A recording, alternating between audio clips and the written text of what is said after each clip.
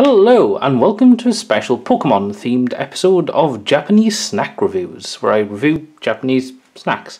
Um, and yeah, so today we've got all of the Japanese snacks that came in the Pokemon Mystery box that I uh, unboxed a few days ago on my YouTube channel. I will leave a link for that um, at the end and probably in the description below.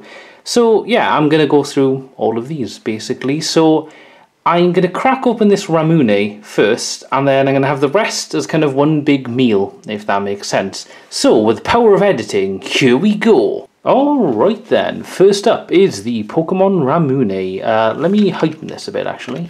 There we go, right, you can see the entire bottle now. So yeah, um, I'm going to just open this up because it does take a little bit of preparation, but that's kind of why I love Ramune as well. So it's got a nice little strip thing here, and it comes a mysterious plastic thing. What could this be used for? Well, there's a strong chance if you're watching this you know what Ramune is, so you know what's coming up next. This is a little funnel, just in case you've never seen it before, and it goes in this hole here, and I don't know if you can see it very well, but there's a clear uh, glass marble. So, you put that there, and you put quite a little bit of force in, and... There we go. Um, yeah, a little bit of gas escapes, and as we can see, there is the little marble there. I don't know how, yeah, there we are, and you can see it's moving about. So you take this off, and uh, I am going to go take a swig.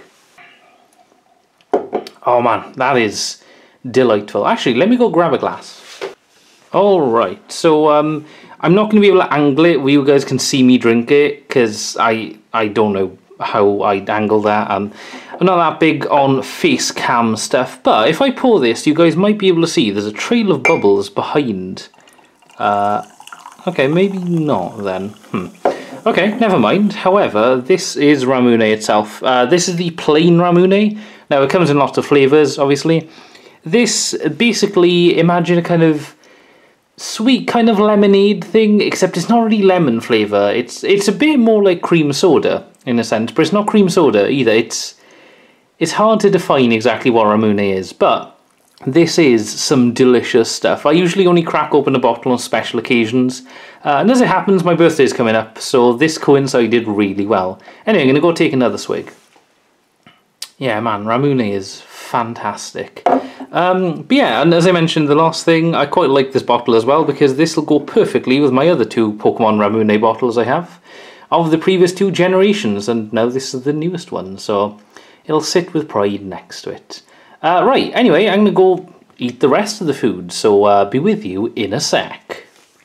Alright, so it's time for the uh, full meal now. So in front of us, we've got the ramen, we've got the biscuits, the wafer, the cola sweets, and the sparkling grape drink. So, um, yeah, I'm going to make a bit of a meal out of it, to be honest, because I could eat all of these. I'm probably going to save some of the biscuits, but I'll probably eat the rest of it all in one meal because I'm a hungry boy. So, first up, obviously, we can't have any meal without its main thing, and that is the Pikachu um, soy ramen, I believe, or well, the Pokemon noodle thing. Uh, it's got Pikachu's face on. And I believe it comes with one of 20 stickers, which is cool, and some Pikachu um, Naruto, which is sort of the... Actually, wait, no, I don't think they would be called Naruto, would they? Because Naruto means spiral, and the only reason the like uh, fish cakes are called spiral is because they've got a spiral. But if they don't have a spiral, what is it called? Um, um, Uma something? I think so. Right. Uh, that is the packaging as we've had a look at. I'm going to peel off the top. Uh, we'll take a look at the sticker, and then I shall prepare the ramen. Um, yes, there we are. So, ah, there we are. We can see the Pikachu cakes there. There's only a few of them, I believe. They're they're decent. They're quite nice, and the fill line obviously is like there if you if it comes up on camera. Uh, so I'll go and do that in a second. Now, what sticker do we have first? I'm gonna I'm gonna open it. Uh, I would leave these to last, but like there's a few different things with stickers or whatever, and it's the food that I'm mainly making the video for. So, the sticker from the ramen oh, yo, it's Flareon! That's a very cute Flareon, actually. Uh, Fusuta. Fusuta, I think, is its name? Okay, I've never really looked up Flareon's thing. And there's the back there. What number is this? Does it tell us? It doesn't, unfortunately, which is um, a shame because I quite like things that have like numbers on them because it'll show you if you've got the full set or ever. But yeah, very cute. I'll probably go and put that on something maybe. Anyway, time to go prepare this ramen.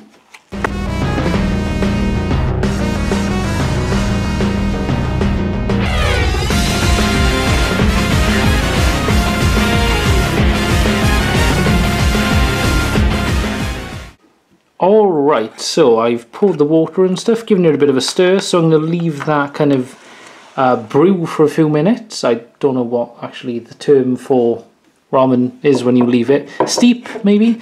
And it's time to crack open this Ocean Bomb uh, white grape flavour, like sparkling water. Quite looking forward to this. Uh, actually, a friend of mine had one of these and said they were they were quite nice. They weren't like amazing, but you know. Anyway, prepare for a ASMR of cracking a cold and open with the boys. Oh, wow, smell just like escaped was interesting actually. Oh, very, very interesting. It does smell exactly like white grape actually. So, I'm going to pour it into uh, my trusty glass. So, as you can imagine, it is kind of clear basically and carbonated. Uh, so it is fizzy water, I think, rather than like soda or anything. Anyway, I'm gonna go give it a swig. Hmm, yeah, that's that's interesting. So, as I said, because it's not soda, so it's not as sweet as you'd expect, if that makes sense. I, I'm not a massive fan of sparkling water, to be honest. However, that's quite nice. It's got a bit of a bitter taste is the only thing, because the carbonation of um, sparkling water it gives you a bit of that like tanginess or whatever on the tongue. But overall, that's not bad. That's that's quite interesting. I'm gonna have another swig. Yeah, it's um, the only downside I'd say is it's a bit of a weird aftertaste. Um, the white grape flavour is really nice and super refreshing, but afterwards, it's the carbonation that kind of hits your tongue a bit, and it's like, mm, it's it's nice though. I, I, definitely would drink one of these again, especially it's a lovely, beautiful day out. Uh, it's 26 degrees, I think, at the moment, Celsius, that is, not Fahrenheit. And yeah, so this is the perfect thing. So I'm to go check on that ramen now. Hey, there we are. Well, that is looking pretty much ready, I think. So I'm to tear off the foil top, uh, which is ripped a little bit annoyingly, but whatever. And uh, yeah, let's see if we can get a nice uh, Pikachu fish cake to show you guys. There it is. Very cute. Actually, I'm gonna, oh, I've got two there. Interesting. Uh, try and separate them. Okay, not the easiest thing. Try and find another one then, and I'm going to taste test it live on camera. Alright, there we are. I've managed to find one, so I'm going to give it a test. Yeah, I'm not really getting much um, fish taste there, but I am getting quite a lot of the um, soy flavour, like the soup base that comes with this, which is quite nice actually. So, with that in mind, I'm going to get a bit of uh, these noodles and give them a try. Hmm, yeah, that's that's really nice actually. It's, um, well, it is literally soy sauce flavoured noodles. Um, it's quite salty, obviously, it's quite umami, it's got quite strong umami factors. Yeah, that's not bad, honestly. It's um, I don't know if I'd like rush out and get them because I mean, the stickers are nice and stuff, but I'm not sure because I'm not crazy on the taste. I quite like my noodles hot, like spicy, or um, I don't know, with a bit of a stronger flavour. And this is nice. It is it is just kind of soy sauce though, which is nice once in a while. But I don't think I'd rush out because the stickers, as I mentioned, they're cool. But I don't know if I'd buy many of these. Um, yeah, I'll definitely be putting on like a Pokemon card binder or something, I think. Right, well, I'm going to go finish this off then, and then we'll bust into the uh, biscuits and stuff, and we'll take a look at the stickers that come with those. So, BRB.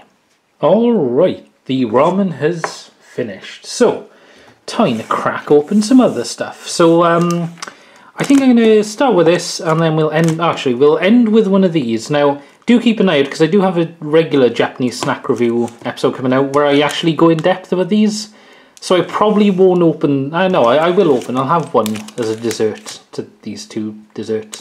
So, the first up, we have by Tohato. Um, they're kind of biscuity things, I believe. They look like that, maybe.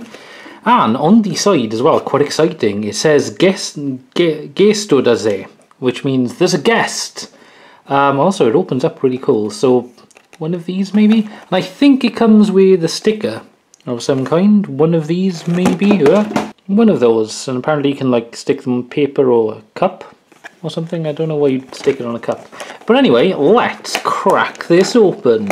Um, yeah, I don't know what to expect fully really. I've had a few Tohato things before. Um, mostly the candy cone kind of stuff. Alright, so ah, and we have a sticker in there. So this time I'm going to have the snack first, which is in a Grookey bag. Very nice. Or uh, Sarunori, as it's known in Japanese, apparently. I did not know that. So yeah, that's pretty cool. Well, like the packaging itself also has stuff. Oh, and there's also a kind of uh, challenge at the back there. Um, I'm, I'm not going to do that. Yeah, there's a nice picture of the three Galar starters and, of course, Grookey himself. So, let's crack this. Man, that was tight. But inside we do indeed... Ooh, okay. So these are quite like crispy and crumbly. Uh, they're very light. So in the shape of Pikachu, obviously there's no like printing on them and stuff. But yeah, very cute. Right, I'm going to try one. Hmm, yeah, that was really nice actually. It tastes a bit like a Cocoa Puff, but with like a thicker shell, if that makes sense. The sort of, um, yeah, it, it feels like it's been like, well, not fried or something, but it's slightly more chocolatey than normal, which is pretty darn cool. Yeah, I, I highly approve of those. They they taste a lot like the Tohato candy cone things, basically, but they're chocolate instead. Very nice. Also, I'm going to keep this sticker till the end. We'll uh, open up both of them together, I think. So I'm going to put that to the side there. And I'm going to open up this wafer thing, which also comes with a sticker, I do believe, because there's 24 to collect and that appears to maybe say I don't know exactly but yeah. So this is a wafer by Lot or Lotte. I think it's chocolate. So let's crack this one open. There you go. That was a lot easier to open. See if I can feel around for the sticker as well because I don't want to spoil you guys till the end. Um, it's probably under here so BRB right I've put it off to the side. I can't I didn't look at it myself either so here we have the wafer. Now I've had one of these before, I think it was a Dragon Ball Super themed one. Um, and yeah, basically there's like, there's blobs of chocolate throughout or whatever, and this is like a regular cracker thing, so I'm just going to go give it a bite. Hmm, quite nice. Um, although I will say the cracker itself is very dry, like incredibly dry. My mouth is entirely dried up now. However, I do dig the um, texture of it all. It's sort of it's quite crunchy and stuff. The chocolate inside adds a nice texture to it as well. The chocolate itself is pretty decent as well. Yeah, overall it's like it's nice. It's nothing mind blowing, but as a kind of wafer snack and stuff, it's pretty cool. Especially because it comes with a sticker. And talking about the stickers, let me move that to the side. We have oh, okay. So I believe oh, interesting. Okay, cool. So. The back is Charmander, but the front is a very hollow looking Lucario. And this is number 10, I believe. Wow, very interesting. So, um, yeah, this is pretty cool. So I think like the entire thing, I don't think it's just Lucario that's a sticker, I think it's the whole thing. Um, yeah, very nice actually. I'm still confused about why Charmander's on the back there. Maybe that's like the set kind of image, if that makes sense. All of them come with that. But yeah, that's really cool actually. I like the uh, hollow effect around Lucario as well. Very nice. And the second one is the one that came with that one. Uh, we got Pikachu looking very happy there. So let's crack this open. I think this is a sticker as well.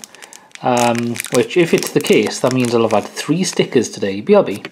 Alright, I did what was suggested, and I just cut it using a scissors. So, our thing is... Oh, yo, it's a Venusaur. Very nice. That's pretty... Or Fushigibana, as it's um, known. Hey, there we are. And we got some stats in Japanese about uh, Venusaur. Ah, so that's interesting. So this sticker is actually just the outline of Venusaur. I don't know if you guys can see it on camera.